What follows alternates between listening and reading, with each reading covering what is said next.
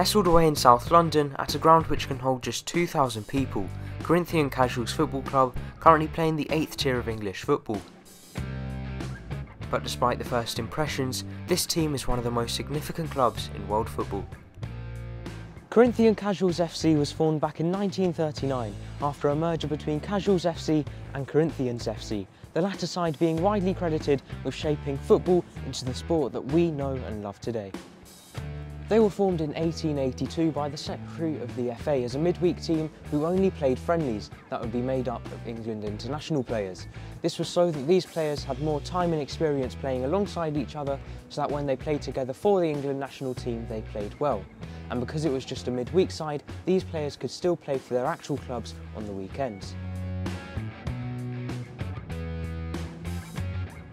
And this theory really did work, with Scotland constantly beating England, now England constantly beating Scotland. And the Corinthians were playing some nice football themselves, with them beating recent FA Cup winners Blackburn Rovers 8-0 and inflicting Manchester United's heaviest ever defeat, 11-3.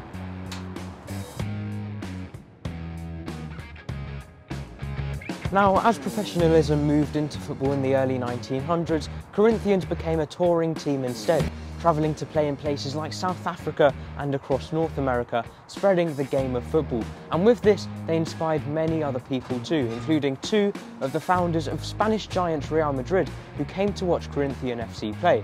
These founders loved Corinthians white shirts and so decided that they would play in the same colour too, leading to the creation of the iconic white Real Madrid jersey. Also, a 1910 tour in Brazil inspired five local railway workers to form the now world famous Corinthians Paulista, who won the Club World Cup back in 2012. One of the places they visited in 1910 was Brazil. A reason for that was that uh, Charles Miller, who's considered to be the kind of grandfather of football in Brazil, mm. he was uh, born of English parents in Brazil and when he went to school in England, he played a game for Corinthians on one occasion when they were a player short and visited his school. They asked him to make up the numbers. So when he went back to Brazil and started to develop the game over there, he invited Corinthians to come and play against a team in Sao Paulo. Ah, okay. Um, they were Sao Paulo Athletic Club. Mm. We beat them so convincingly, the Corinthians, and played so well that the locals who were watching were inspired to form their own team, and they called it Corinthians. So now you have Corinthians, Sport Club Corinthians Paulista in Brazil, who are one of the biggest teams in South America and the world. Um, and you have Corinthian Casuals Football Club over here playing still in non-league football in the eighth tier. So there's been a real turnaround in the team's uh, fortunes over those hundred and what is it, 24 years, oh, 114 years, I should say. But it was all goes back to that tour in 1910 when we visited Sao Paulo.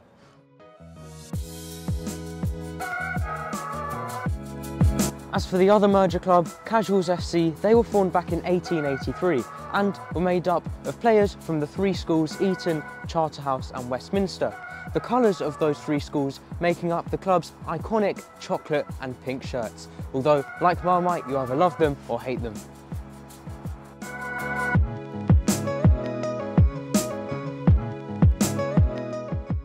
In 1939, the two teams came together and almost 100 years later are still playing football today. Carrying on Corinthians' tradition of going on tour, the club have gone on three since the merger, all of them to Brazil to take on the South American Corinthians.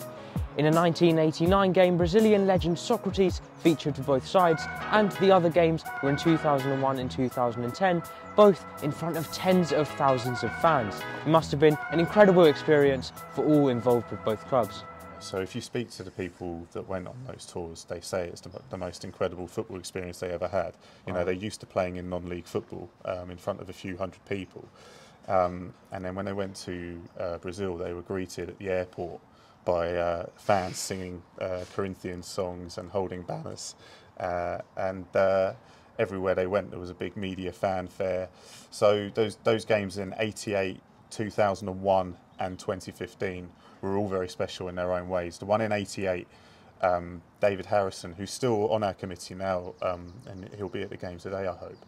Um, he was part of the organising committee for that tour, and he arranged on the bus to the game with Socrates, who was this great uh, Brazil captain yeah, of, of uh, 82 World Cup.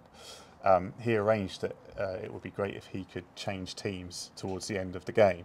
So with, I think uh, 17 minutes to go, he switched, uh, uh, swapped shirts with a, a, Corinthian Casuals player, and they switched sides, and so he played out the rest of the game for Corinthian Casuals. And the game ended 1 0, and he had scored the goal for Corinthians All Stars, which was like a Legends 11.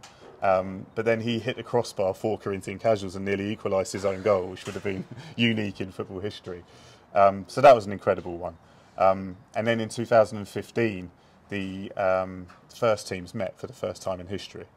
So it's the, the only game to date where the first teams of Corinthians, Paulista, and Corinthian Casuals have played one another. Right. Um, and that was 3 0 to Corinthians. And that's the game uh, that forms the centrepiece of the film Brothers in Football, um, which I think is still available to watch. Um, uh, so I urge people to look that up and watch it. It tells the story of our club brilliantly. And you'll see a banner behind the goal today that says Brothers in Football Play for Us. Um, that banner was sent over from Sao Paulo by the fans of Corinthians who debuted the banner at Corinthians Arena for a game in the Brazilian Serie A and then sent it over here for us to have permanently behind the goal. Fortunately, today we're going to have uh, visitors from Gaviões da Fiel, who are one of the biggest supporters clubs of Corinthians in Sao Paulo um, they're going to present us with a plaque hmm. um, in honour of the 140 anniversary of, of, our club, which was two years ago. They had it made in Brazil then, and right. this is the first time we've had the opportunity to bring it over.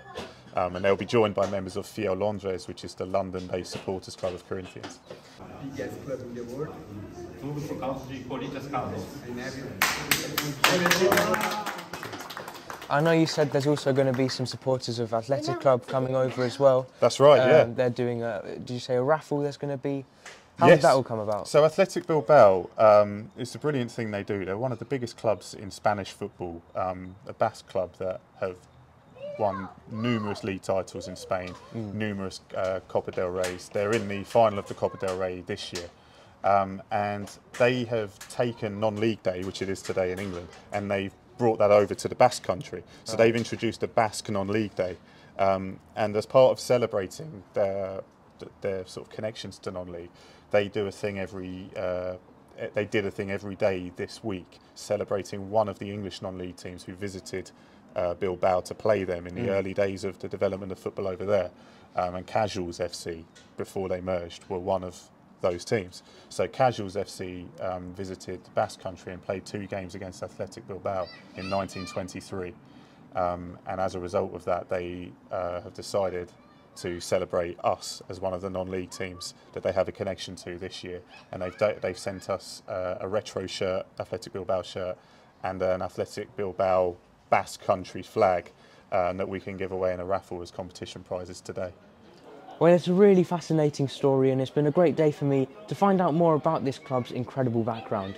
It's non-league day today, an annual event celebrating the amateur and semi-pro side of the game, and this is the perfect example of why this day exists. Because clubs like Corinthian Casuals, who may not seem like a massive team with a big influence on football at first, really do have a big, big impact. And these teams definitely need to be celebrated more.